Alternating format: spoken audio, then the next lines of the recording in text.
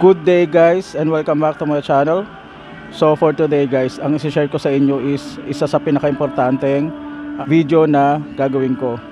Kasi actually ito yung pinaka most common uh, issue ng ating sasakyan which is yung humming sound, uh, lagutok, langit-ngit or kalampag. I-share ko sa inyo kung ano yung mga signs at paano siya i-diagnose. So itong video na to talagang medyo mahaba kasi for info siya pero pan- panoorin nyo ng buo kasi marami kayong matutunan dito para kung may marinig mga sa sasakyan nyo, hindi man kayo yung gagawa, at least marunong kayo mag-diagnose. Kasi actually basic lang siya, madali lang siya i-diagnose. Kailangan mo lang alam kung paano. Ito ituturo ko kung paano isa-isa kung gusto nyo mag-diagnose talaga or at least nga may idea kayo na kapag dinala nyo sa, sa mekaniko, dapat before siya magpalit, nag-diagnose muna siya para hindi sayang ang parts na uh, papalitan ninyo tapos hindi naman pala may problema.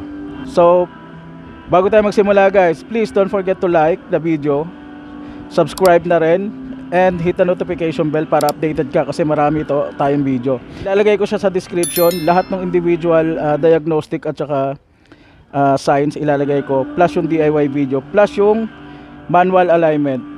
Kasi guys, automatic yan pag gumalaw kayo ng suspension arm, ng suspension system natin at saka yung mga control arm. Basta lahat sa ilalim, pag gumalaw kayo dyan ng isa man lang dyan, kailangan nyo ipa-align yan. So para iwas gastos kayo, ilalagay ko rin yung manual alignment uh, link doon sa, sa description nito kasi uh, madali lang naman siya. Kailangan nyo lang aralin ng konti pero mabilis lang yan. Napaka easy lang. Important reminders lang guys before kayo mag-proceed ng inyong diagnostic. Make sure to check yung mga bolts kasi possible na kapag nag-loose yan, nag-iingay din yung ating pang ilalim. So yun mo nang check nyo kapag okay lahat saka tayo mag-proceed ng ating diagnostic. So bali ang gagawin natin guys, uh, ano tayo, uh, signs and symptoms tapos diagnostic. Ganun yung magiging uh, takbo ng video natin para uh, hindi kayo maguluhan. So mag-start tayo sa wheel bearing ano ba sign na may problema na yung wheel bearing? Uh, number one dyan guys kapag medyo pasira pa lang yung wheel bearing nyo may marinig kayo na humming sound sa loob ng inyong sasakyan. Habang nag-accelerate kayo lumalakas din siya. Ang sabihin nun yung wheel bearing nyo yung bulitas nun wala nang grease. So technically nag, yung pag umikot siya, kaya mabagal siya, hindi mo na siya tutunog kasi hindi pa naman siya sira. Pero habang nag-accelerate kayo, lalakas yun kaya may narinig kayong humming sound or yung parang pag binilisan nyo nga akala nyo may take off na aeroplano. Yun yung isa. Second kapag ka medyo durog na talaga yung wheel bearing ninyo uh, kaka-accelerate mo lang tutunog na agad yun. Pag nandun ka kasi sa loob ng sasakyan ang maririnig mo doon akala mo nasa gilid nasa likod pero ang totoo wheel bearing yun. Paano yung malalaman na kasi ano yun eh Di ba, sa suspension system kasi natin, marami ring maingay kapag ka may problema. Pero paano nyo malalaman kung wheel bearing din yung isa sa problema. Usually kasi guys, yung suspension system natin, hindi naman yan basta-basta tutunog kung flat road. Kasi usually, ito pag may problema ang suspension, sa mga hams yan at saka rough road, maingay. Unless talagang talagang damage na siya, tumutunog din yan sa flat road. Pero kung halimbawa wala, hindi naman, wala naman masyadong problema yung uh, suspension nyo, pero tapos nasa flat road kayo, pero maingay, parang may kumakaskas na bakal, wheel bearing yon And paano natin malalaman kung wheel bearing nga may problema? First step guys is hawakan nyo yung gulong ng 12 o'clock at saka 6 o'clock. Kailangan naka-jack to ah. Naka-jack yung sasakyan nyo para umiikot to. Hawakan nyo ng 12 o'clock at saka 6 o'clock. Uga-ugain yung ganyan guys. Yan. Papasok. Hindi yung ugang pag paikot ah. Palabas papasok yan. Pag ito may play, pag inikot mo, pag inuga mo tong ganyan at may play, amig sabihin nun, may problema na ang iyong wheel bearing. Normally kapag ka sira na talaga yan, yung talagang durog na yung bulitas, may magpe-play na yan. Ngayon kung wala naman play, katulad nun, ito, ito wala naman play. Sabihin, hindi natin madedetect na yan yung may problema. Ang second doon guys, hawakan nyo yung shock. Pag hawak nyo sa shock, ikutin nyo tong gulong. Yan. Pag ikot nyo ng gulong, may konting maramdaman lang kayo dyan na parang kung may kumikiskis na bakal. Ang sabihin nun, pasira na yung wheel bearing ninyo. Kasi kung walang problema yan, pag, eh, pag inikot mo yan, may mararamdaman ka pero ramdam mo naman na smooth talaga yung takbo ng bearing. Pero pag may tama na kasi yan, talaga ramdam mo yung kumikiskis na bakal. So yun guys, ganun lang kasimple mag-diagnose ng sirang wheel bearing. So next tayo guys, ang inyong tie rods. Dalawa yan actually, tie rods mo, inner at saka outer. So papakita ko mamaya pagka tinanggal na natin. So ano yung signs na may problema na ang inyong tie rod? So number one doon guys, knocking or clunking noise sa ilalim ng inyong sasakyan. Second is, yung steering wheel natin nagbabibrate. Kasi usually, yung tie rods kasi nakakonect yan sa steering. Pag sira na yung socket niyan ng tie rods mo, gagalaw-galaw na to. Yun yung nagdahilan kaya nagsashake yung inyong steering wheel. Isa pa sa reason yan guys is poor front end alignment. So ang sabihin nun guys, yung gulong mo ay yung gulong mo mawawala sa align. Kasi usually yung tie rod kasi yan yung nag-hold ng alignment ng sasakyan natin. So kapag yung ayun nga yung socket nga nun malikot na, usually itong gulong mo sa harap sa front end mo, yan. Nakausli na to kasi hindi na siya nagpapantay. So pag nakababa yung gulong natin, uma- lumalabas to. So isa yun sa sign din. And last, squeaky sounds. Yung parang yung tinatawag nating langut, langit-ngit. Especially kapag ka dadaan kayo ng mga corners, yung liliko kayo ng mga pa-corner, yung tumutunog siya. Kasi ah, yung ano nga ano, yung tire yung tie rod mo, hindi na maayos yung joint niya, yung bakal niya, hindi na maayos. So pagka pinihit mo to ng patalang liliko ka, yun yung medyo tumutunog kasi wala ng grasa. So yun yung ay usual signs niyan na may problema na inyong ah, tie rod. So yun guys, tanggal na yung gulong natin. So paano ba mag-diagnose ng tie rod? Ito ito yung tinatawag nating ah, in ah, outer, yung isa, yung karugtong na tawag din diyan is tie din yan pero yun yung inner tie rod yung nakakabit sa rack end. Pero ito yung outer. So sa outer tayo, paano malalaman yan? Ida-diagnose mo kung sira yung ah, tie rod mo. Yung kanina, 'di ba, nag gaganon tayo na may play. Yun, isa yun talaga sa sign na may problema ng iyong tie rod kasi pag ginalaw kasi natin yung gulong, kama igaganyanin natin 'to. Hindi dapat yung gagalaw, matigas yan eh. Ito yung nagko-control kasi talaga ng ating steering. So hindi dapat yung gagalaw. Kaya pagka ginanon mo at gumalaw na siya, sabihin sira na yung ah, ano mo rito. Yung joint nito. So isa pa sa way para ma-diagnose yan kung wala namang play doon, hawakan nyo lang to. Itong, itong part na to. Itong part na to ng tie rod. Tapos ikot-ikutin nyo. Yan. Tigas kasi bago to. Pero pagka luma na yan, isang ganun mo lang yan, iikot na yan. So wala akong sample niya guys kasi bago yan. Pero meron ako nung yun. So ito, yan, same logic lang yan guys. Parang ganito lang din yan. Ang pinagkaiba lang nito, ano kasi to? Ah, stabilizer link. So parang ganito lang din yan. Ito yung nakakabit sa kanya ganyan.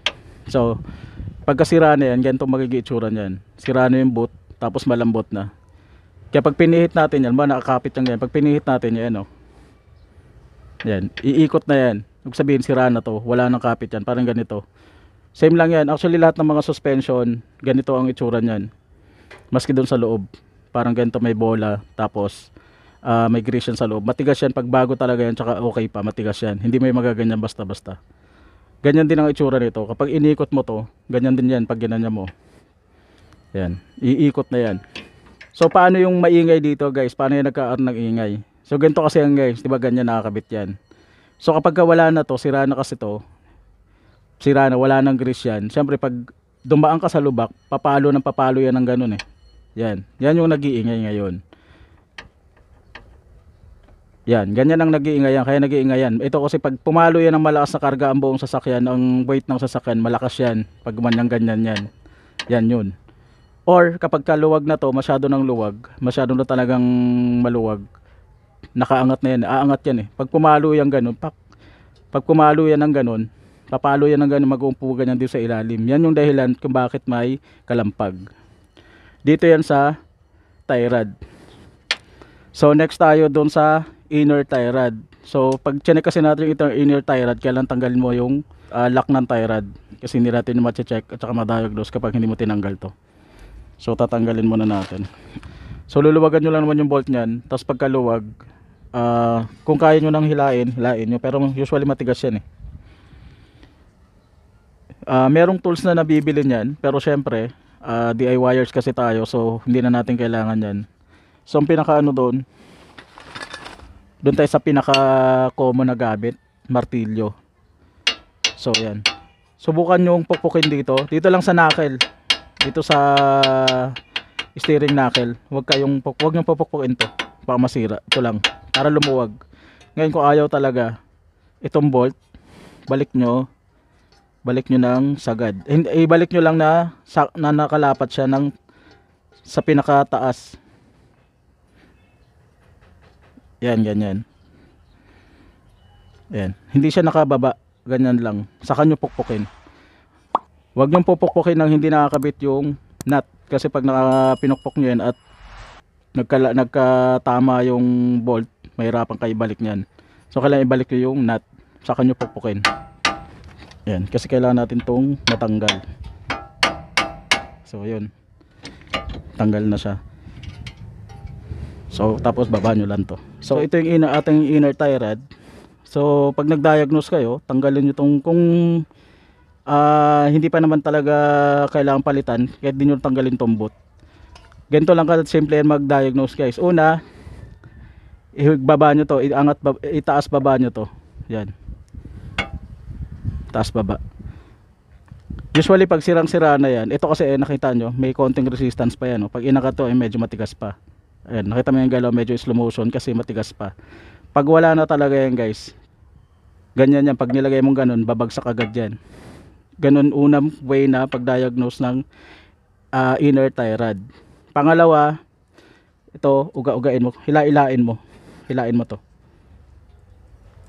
Kapag ka maluwag na kasi yung yung may ganito rin kasi yan sa loob yung dulo niyan.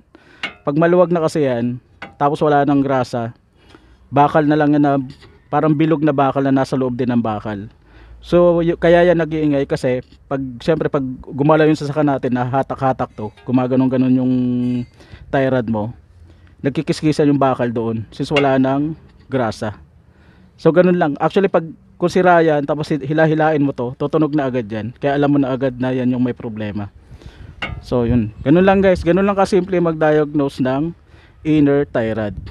So next naman tayo guys is stabilizer link or stabilizer bar. Ito, actually ito yung part na to, itong bakal. Yung pinagkabitan nito. Ito. Yung paikot yan papunta doon sa kabila. Tawag dito, stabilizer bar or sway bar. Ito naman yung stabilizer link. So ano naman yung sign na may problema na yung inyong stabilizer link art sway bar. Ang clanking and rattling noise. Tapos ah, second is loose or sloppy steering wheel. So paano natin malalaman kapag ka sira na? Paano natin i-diagnose kung sira na ang inyong ah, sway ah, stabilizer link or may problema ng inyong sway bar bushings. Us- Usually bushings lang ang pro- problema ng sway bar or stabilizer bang bar. So, ayan. So, makikita nyo naman yan. Tingnan nyo to. Itong bago. Ayan. Galaw-galawin natin to. Ayan. Actual. Bago yan. Ayan o. Hindi mo yan magagalaw. Ito, galaw-galawin mo to. Sa may, ano niya mismo, sakit. Hindi nyo may magagalaw pag bago. Ayan. Same yan sa baba. Ang pag-diagnose niyan, hawakan nyo lang to. Ayan. Kunyari, ito yung nakalock. Pihit-pihiton nyo to. Ayan. Ayan. Ibang-iba yan. Ayan o. Sira na isa pa sa sign yan kapag yung boot mo automatic punit na yung boot palitin na yan kasi ayan o ganyan yung mangyayari sa lahat actually sa lahat yan itong ball joint tie rod tie rod and lahat ng mga ganito basta may connecting ganito, ganito ang itsura niyan yan ganyan. Iisa yan ang itsura niyan lahat yan ito ganito yan ayan may bola sa ilalim ito may bola tapos sa loob yan tapos may grasa yan sa loob. Kaya siya may boot protection yan sa grasa. Yun. Ito yung sinasabi ko kapag ka ah, hindi na siya pagka ganito na siya sira kaya yan maingay kasi pag bumababa yung sasakyan mo syempre stabilizer yan eh papalo-palo yan ganun ang mag-iingay dyan eto papalo siya dito sa gilid niya yan ganyan yan ganyan kasi palo niyan magiging ganyan yan papalo-palo na yan dapat kasi steady yan so kapag sira na yan gaganon ganon yan kaya siya maingay so ganun lang pag diagnose yan una tignan mo yung boot kung sira na yan, component na. Hindi na kasi hindi kasi ito nakapalitan. Ayan, ito sa kabila. Katulad nito, okay pa ang boot niya. Pero tingnan mo, pag ginalaw mo, wala na. So yun, unang sign agad doon, sira ang boot. Pangalawa, yun, pag ginanon mo siya, pag ginanon mo, biikot na. Palitin na yon. So, next naman tayo sa sway bar. Paano natin malalaman kung sira na ang bushing niyan? So, ang way niyan guys para malaman natin kung sira na yung bushing mo, tatanggalin natin ito stabilizer link. Pakita ko sa inyo, tatanggalin ko muna yung stabilizer link. Tapos ugain natin. So guys, napakadali na naman tanggalin ng stabilizer. Ito lang, luwagan nyo lang to. Isa lang, isang part lang. Kung magdiagnose tayo, isa lang. Kailan lang natin ma-release yan para lumuwag yung ah, ano natin, sway bar or stabilizer bar. So yun lang.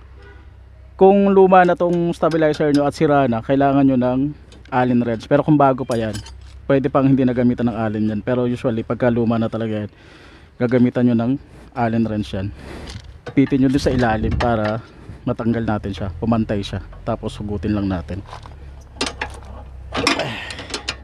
Yan, para lang kalang nyo rito, ayan o, kalang nyo ng ganyan. Kuha lang kayo ng pangkalang, kalang nyo doon sa bakal sa ilalim, tapos para pumantay yung ito, para pumantay siya at mahu mahugot natin. So yan. Paano natin mala ma-diagnose kung yung cause ng ingay is yung ating stabilizer bar. Ito yun, ito yung stabilizer bar. Yan, pinagkakabitan nitong stub link.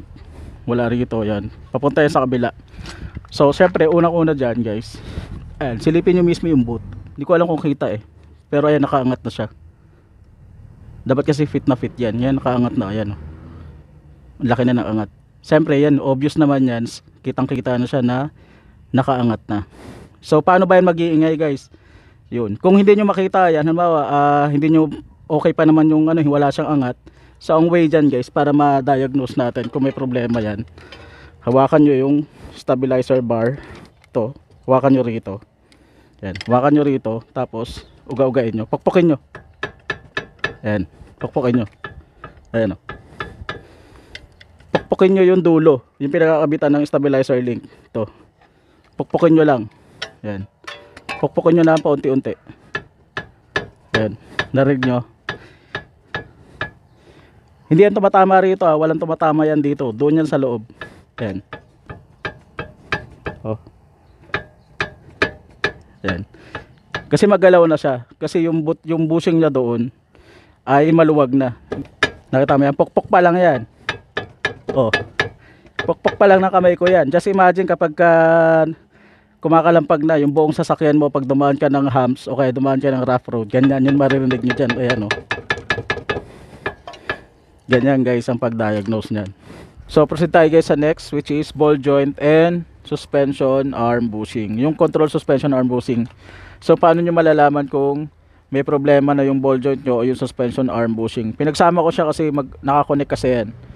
So number one doon palagi is yung knocking or clunking noise. Halos pares lang yan. Laging kalampag o kaya may langit-ngit. Same yan halos ng mga pangilalim. Kaya sinabi ko sa inyo, huwag nyo dadalhin na huhulaan agad ng mekaniko yan. Kasi halos lahat yan, iisa ang, sa, ang sign.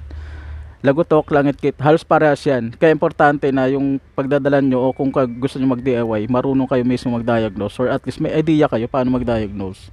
Para hindi sayang yung palit ng palit ng parts. Then next doon guys is yung shaking or vibration and steering wheel. Kung yung tie rod kasi natin, yan yung nagko-control ng ating steering paliko pa kanan. Paggalaw-galaw ng ano. Ito naman yung ball joint naman natin. Siya yung nag-hold ng tire natin, nung knuckle natin na naka-steady yung gulong natin na nakaganyan. Hindi siya yung gagalaw-galaw to. Kasi pagka sira na yung ball joint mo, may tendency kasi nagagalaw-galaw na yung gulong mo. Tapos, next doon is unstable braking.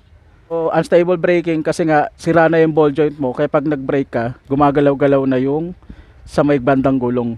Next is yung nagpo-pull siya towards left or right. So, punta naman tayo sa diagnostic. So, paano natin malaman kung ah, may problema na yung inyong ball joint.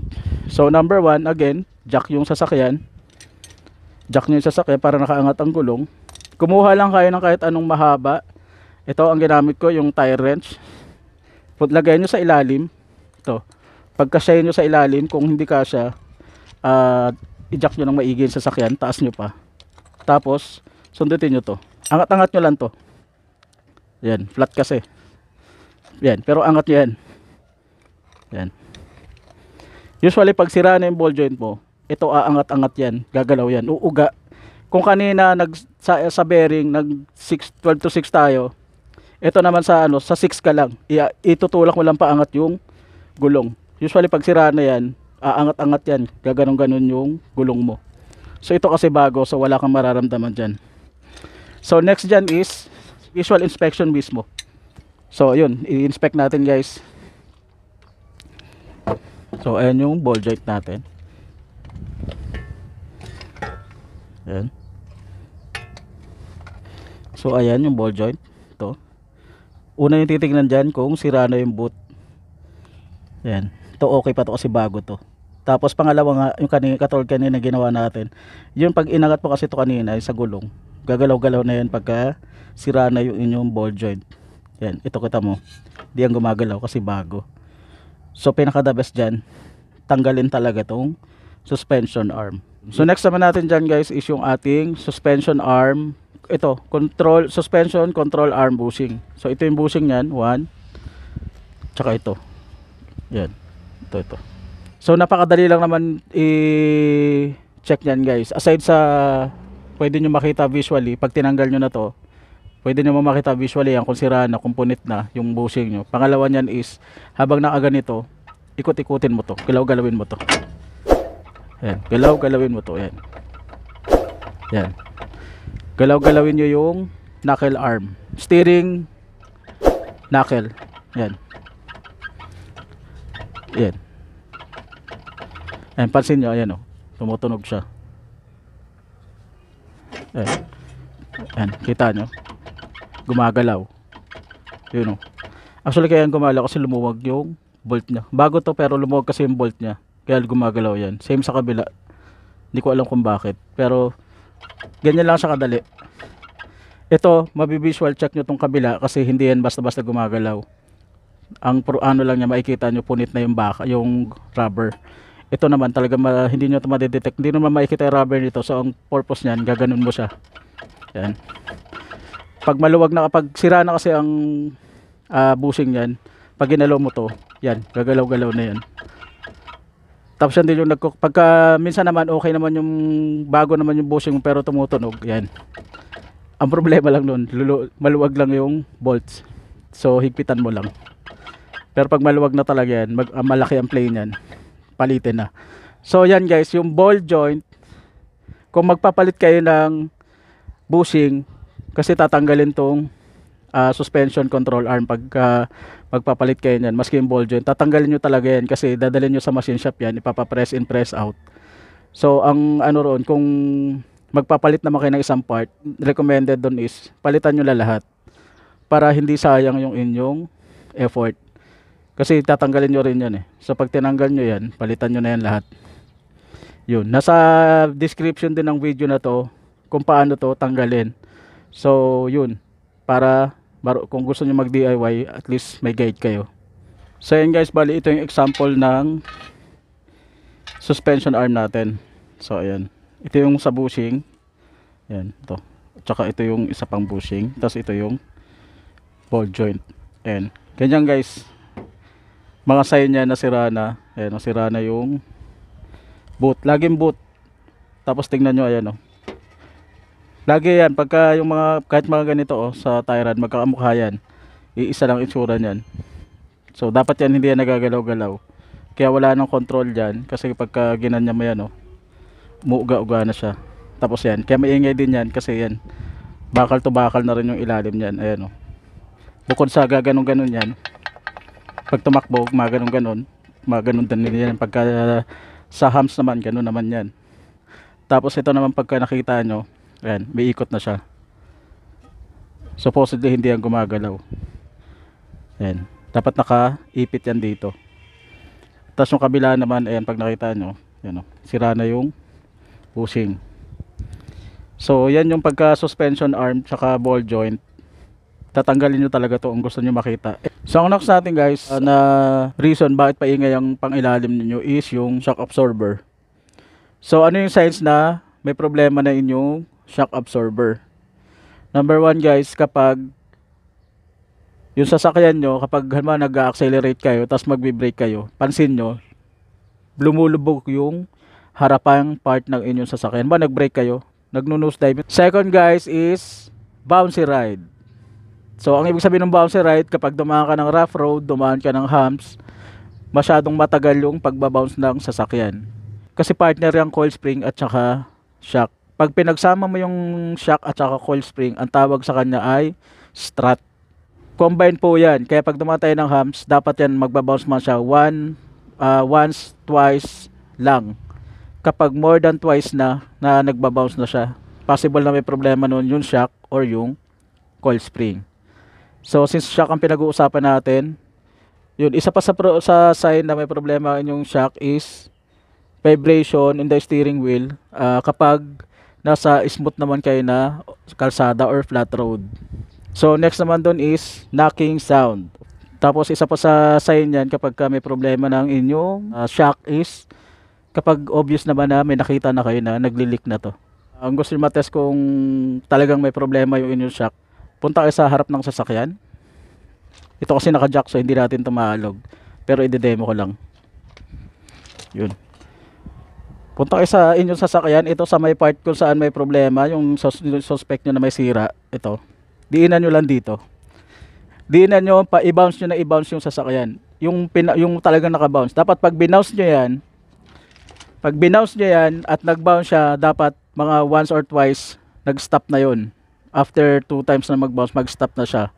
Pero pag sumobra siya doon, ang sabihin, may problema na yung inyong shock.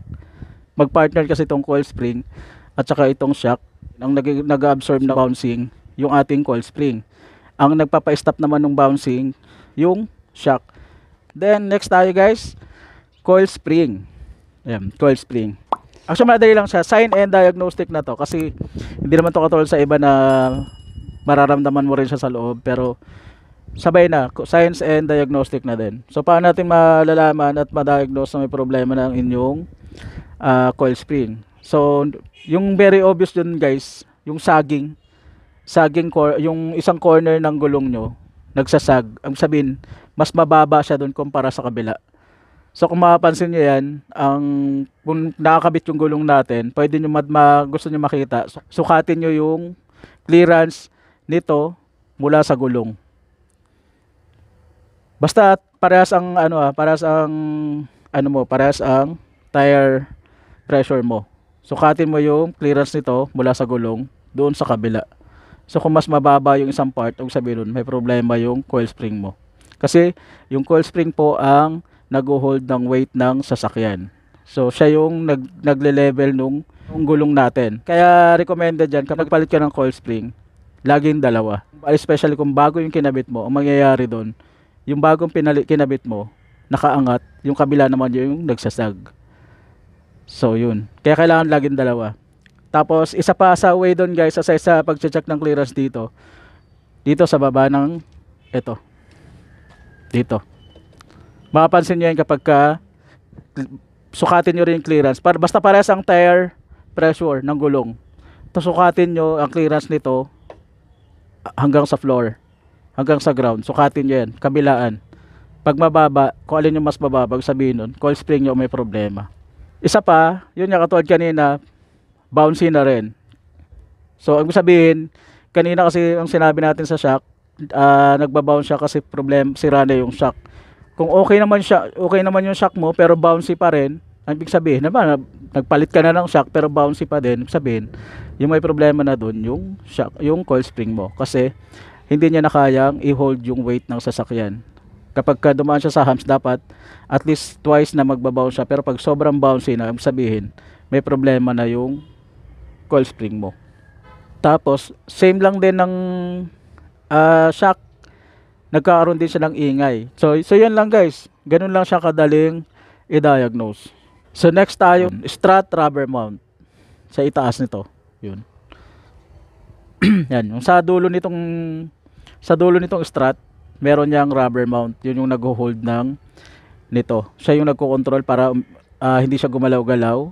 Plus, pag, para pag pinihit mo yung manibela, naka-steady lang siya doon. Siya lang yung nagko-control para ma-absorb niya yung Kasi kung bakal to bakal yan, walang rubber mount sa ibabaw. Siyempre, pag dumaan ka sa humps, puro kakalampag yan.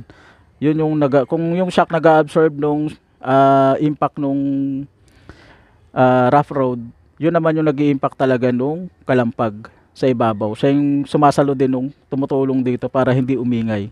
Ano yung sign na may problema ng inyong rubber mounting? So number one dyan, ito, kapag nakaangat na to, yan. Ito kasi naka-jack eh, pero kung dito naka-jack, nakaangat to actually. Kasi may problema na yung rubber mount niyan. Nakaangat yan actually, ang taas niyan. Normal naman na aangat yan, pagka syempre luma na, nag-shrink na kasi yung rubber mount, normal na aangat yan. Pero pag excessive na yung angat niya talaga, masyado nang mataas, yun. Kailangan nyo nang palitan yun. Kasi ang problema nun, yung sasakyan nyo hindi na balance kasi mababa na yung harap do kaysa sa likod. Tapos isa pa sa sign yan guys, kapag ka iikutin mo yan, tumutunog. Ah, hindi ko na maikot kasi nakababa yung gulong, pero pag in- binaba natin yan, actually pag piniiktas, nag-ikot-ikot nating manibela, naglalangit-ngit yan. Kasi yung rubber niya, dapat naka-hold lang dapat yan dito. Meron kasing yung rubber mounting, meron yung mga guide na kapag pinasok mo rito, nakaipit lang siya doon. So kapag ka yun, sira na, yung medyo upod na yun, sumasabay na yung rubber mounting pag inikot mo yung manibela. Tapos another sign is, halos parehas lang nung iba, ah, kapag ka yung manibela nyo, ah, kumakabig na rin. Kasi syempre nakakabit to eh. Naka, yung siya kasi nakakabit yan doon. So yung rubber mounting mo kapag ka maluwag na yun, nakaangat na masyado, yun sinasabi ko na hindi na kasi nakukun. Dapat kasi nakafit yun para kontrolado yung galaw ng manibela, hindi to malikot. So kapag nakaangat na kasi yun, sobrang likot na niya. Kaya medyo yung manibela mo malikot din. So yun lang guys, yun yung way para ma-diagnose natin yung rubber mount. So yun guys, ah, last on our list pagdating doon sa mga lagutok o kaya kalampag is yung rack and pinion. So usually ang tumutunog dyan is yung rack end. Ito, ito, ito. Itong part na to. Yan. Sa left side, sa may driver side, ito yung mayroong may gear. Yan po yung tumutunog dyan. So ang way po ng pag-diagnose niyan, ah hawakan nyo tong dulo ng inner tie rod. Uga-ugain nyo siya. Huwag tong tie rod ang hawakan nyo kasi tutunog talaga yan. Ang gagawin nyo, itong dulo ng inner tie rod ang hawakan nyo. Yun ang galaw-galawin nyo. Yan. Yan. Yan. Pag sira na ang bushing niyan, itong track end mo, tutunog na yan pag ginalaw natin to. So, so far ito, okay naman. Yan ang pinakalas na titignan ninyo kasi yan yung pinaka medyo mahirap siyang i-diagnose kasi kailan baklasin mo to, hilain mo mismo to. Bali, ilabas mo lang yung gulong, ipaikutin mo lang yung gulong pa kaliwa para umangat to, tapos sa kanyo ugain. Yan. Ito yung ulo ng inner tie rod. Yan yung hawakan nyo. Huwag itong ano niya, yung stick niya kasi tutunog to pag yan ang ginalaw mo. So ito, ang uugain mo. So, yan, wala namang tunog. So, sabihin, okay yung ah, rock and pinion natin. So, yun guys, ganun lang. Yan ang pinakahuli kasi medyo mahirap yan. Pag okay na, wala naman talagang problema lahat based on, based on diagnostic ninyo doon sa mga nauna, wala. Probably rock and pinion ang huli nyong i-check.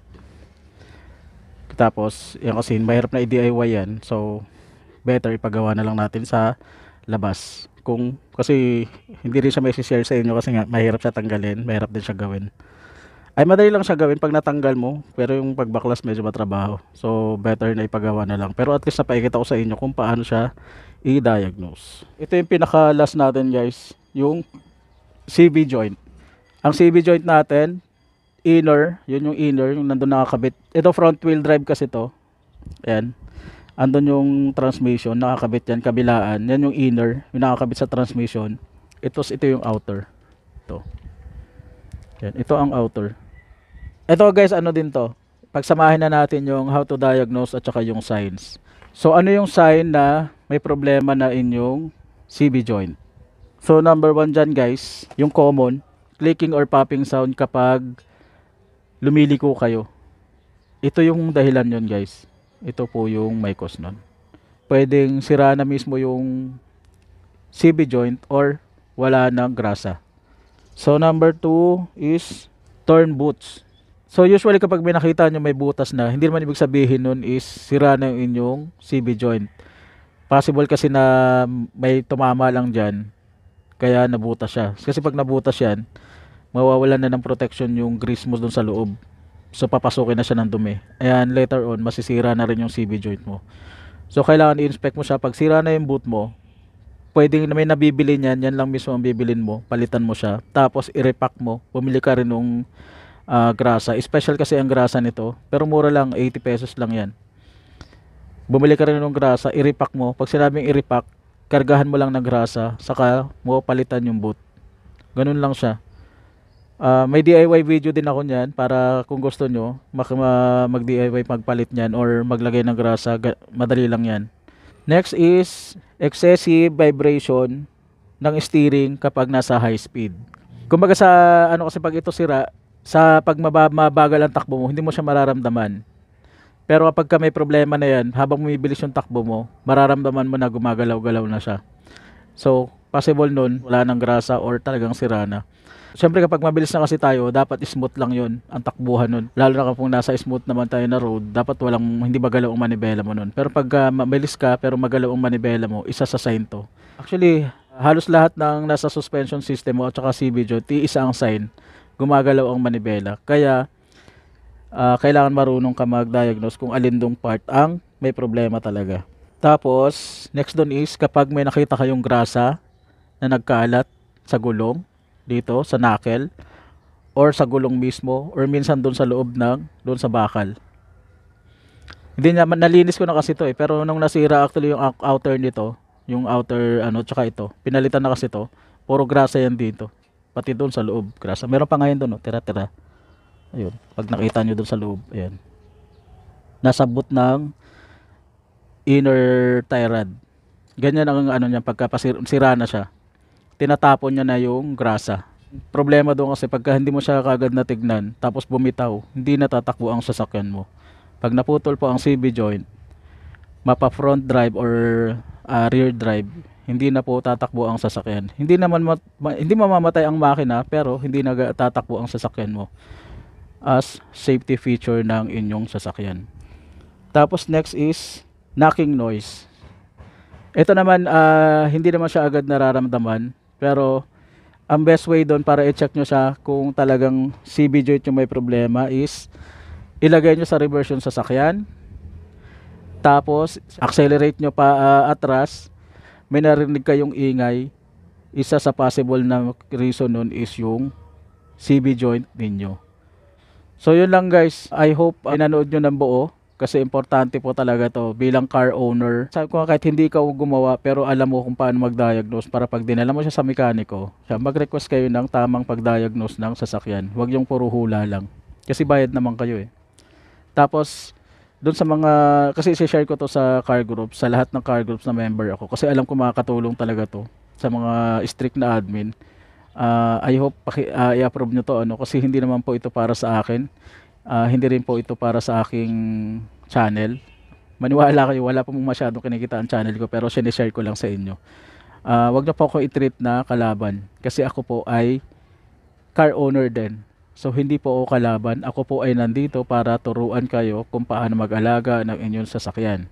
Hindi rin po ako naghahanap ng customer. Basta ako, sinishare ko kung ano yung pwedeng makakatulong sa inyo ah, para paalagaan nyo inyong sasakyan ah, matuto kayo mag-diagnose at matuto kayo mag-DIY. So sana wag niyo ipagdamot 'yon sa ibang car owners. I-share nyo na rin sa mga friends ninyo na ah, car owners kasi alam ko makakatulong ito.